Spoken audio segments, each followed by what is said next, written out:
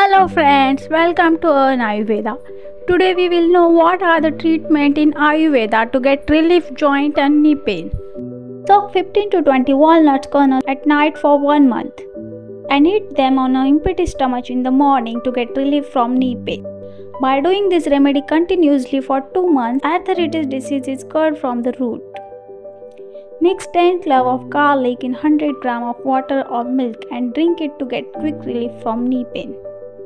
Drinking half a cup of fresh pigweed leaf juice in the morning and evening and empty stomach causes knee pain. Do not eat or drink anything for 2 hours after consuming it.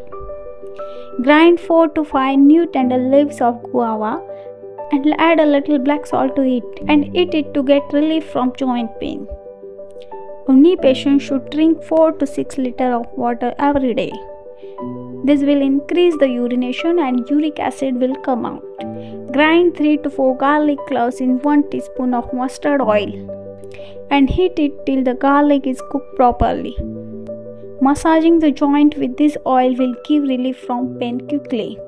Eating coconut kernels every day strengthens the joint. Heat black pepper in sesame oil till it burns. Then, when it cools down, apply the oil on the joint with light hands. This will give immediately relief from joint pain. Grind carrot and lemon juice to eat and consume it. Doing this remedy every day strengthens the ligaments of the joint and, and give relief from pain. For similar Ayurvedic information, like the video and subscribe to Earn Ayurveda.